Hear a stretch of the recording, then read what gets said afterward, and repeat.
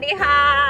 สวัสดีในวันที่เหมือนคนป่วย แต่เขาไม่ได้ป่วยนะแต่หน้าป่วยมากเลยทำไมหน้าป่วยได้ขนาดนี้เนี่ย คือเพิ่งกลับจากอีสานมา เดินทางทั้งหมด 7 วันร็อกมากนะคะ เดินทางทั้งหมด 7 วันเต็มๆที่แบไกลบขนาดนั้นเลยเหรอครับ ไปประมาณ 5-6 จังหวัดเลยอะที่นอนเลยนะ ไม่ใช่ว่าที่ผ่านนะที่ผ่านนี่โหผ่านเยอะมากผ่านทั้งทั้งภาคอะค่ะ นี่ไม่ได้แต่งหน้าด้วย เพราะว่าวันนี้เราจะไปทำขนตากันความจริงขนตาพี่วิก็ยาวนะ คนเหนือเขาเรียกเลยนะ คิ้วหนาตาฮึกนี่เป็นคนมีจากมีเชื้อใช่คนเหนือเมืองมากเลยอะมากเลยอะเป็นคนคิ้วคิ้วเข้มขนตายาวขนเยอะอยู่แล้วนะคะ อันนี้คิ้วก็ต้องแบบไปกันมาตลอดนะคะ แต่ว่าถามว่าทำไมต้องต่อขนตา เพราะขี้เกียจเพราะว่าเวลาที่เราอะมีขนตาที่มันต่อแล้วใช่ไหมแปลว่าเราตื่นมาแล้วก็สวยเลย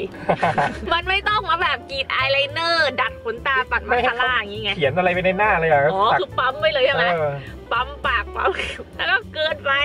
แต่มันก็เป็นทางลัดที่แบบมันสวนเร็วดีคือแบบตื่นมาปุ๊บแบบถ่ายรูปได้เลยอะไรเงี้ยเพราะอย่างเงี้ยมันจะดูล้นล้นๆใช่ไหมคุยกันนะโอว่าเออไปต่อขนตาดีกว่าความจริงก็ไม่ใช่ครั้งแรกพี่ก็เคยต่อหลายครั้งแล้วนะคะ ต่อแล้วมันก็โอเคนะ มันก็ดีนะอยู่ได้นานไหมครับแล้วแต่คนแต่อย่างหนูอะหนูจะอยู่ได้ประมาณแบบ 2 เดือนถือว่านานนะคนอื่นเขาจะอยู่ได้เดือนหนึ่ง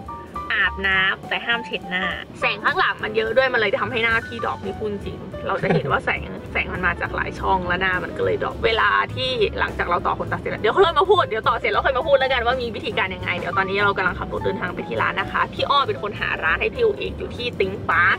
Think Park ก็คือของคุณตันคุณตันอิชิตันนี่เนี่ยโทรนัดเขาไว้แล้วนะคะ ตอนนี้ประมาณบ่ายโมงแล้วก็โทรนัดเขาบ่ายโมงยังไงนะ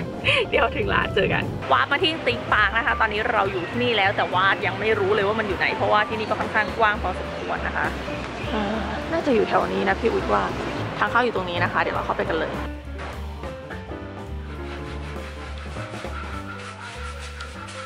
ช่วง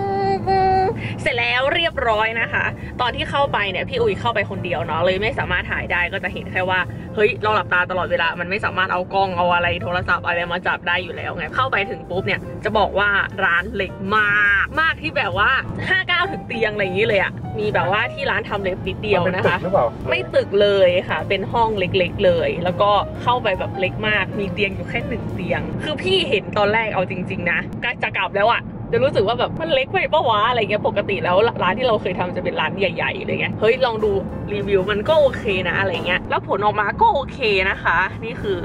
ที่ต่อเสร็จแล้วนะเห็นไหมเขาจะมีหลายแบบให้เลือกนะคะว่าตรงหางยาวตรงกลางยาวแบบเซ็กซี่แบบหนาแบบอะไรเงี้ยแต่ของพี่อุ๊ยอะไม่ได้ยาวเวอร์แล้วก็ไม่ได้ออกข้างมากปกติถ้าแบบว่าเขาบอกว่าตาเซ็กซี่อะจะให้แบบออกข้างเยอะ ๆ แบบงอนๆอะไรเงี้ยแต่เรารู้ไงว่าแบบมันจะเวอร์ไปอะไรเงี้ยแต่เลือกแบบงอนมากนะ เพราะว่าพี่อุ๊ยอะเป็นคนขนตายาวแต่ว่าขนตาตกขนตาตกก็คือ มันไม่งอนขึ้นอะขนตามันมันจะมันจะตรง แล้วมันจะทิ่มลง เพราะฉะนั้นเราก็จะใช้ขนตาปลอมเนี่ยงัดให้มันขึ้นอะไรเงี้ย มันก็เลยจะงอน อันนี้ราคา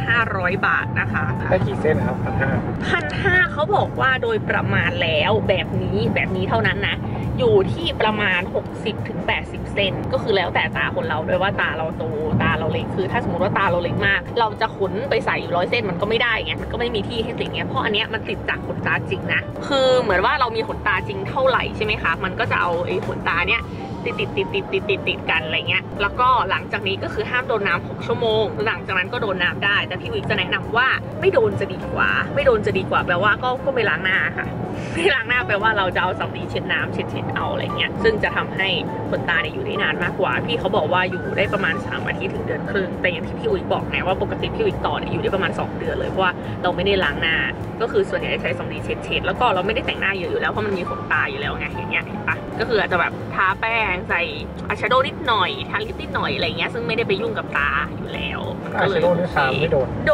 นค่ะ แต่ว่ามันไม่ได้ชิดกับ ขนตา มันไม่ได้ชิดมาก แต่ถ้าเราปัดอายไลเนอร์ด้วยอะ มันก็จะโดนอยู่ ก็ยังมีความที่แบบว่าต้องเช็ดแล้วแต่เทคนิคการแต่งหน้าของแต่ละคน มาให้ดูว่าโอเคนะ การต่อขนตาเป็นอย่างนี้ ถามว่าเจ็บไหมไม่เจ็บ แต่ว่ามีแสบๆนิดๆ แล้วแต่คนที่แบบว่าแพ้น้ำยาไหมอะไรไหมแต่อย่างพี่อุ๊ยกับพี่อุ๊ยเป็นคนผิวบาง ก็จะมีแสบๆเล็ก ๆ อยู่ แต่ก็ ก็เล็กมากนะ เล็กที่แบบว่าไม่ได้แบบว่าน้ำตาไหลอะไร แต่ก็มีแสบนิดหน่อยอะไรอย่างเงี้ยนะคะ เวลาจะไปต่อขนตา ก็ไม่ต้องแต่งหน้าไป เพราะว่าเขาก็ต้องเช็ดออกอยู่ดี แล้วเป็นความลำบากของช่างด้วยที่มันต้องมาเช็ดมาคาราเช็ดอะไรไปก็คือเอาหน้าโลนๆอย่างเงี้ยแหละไป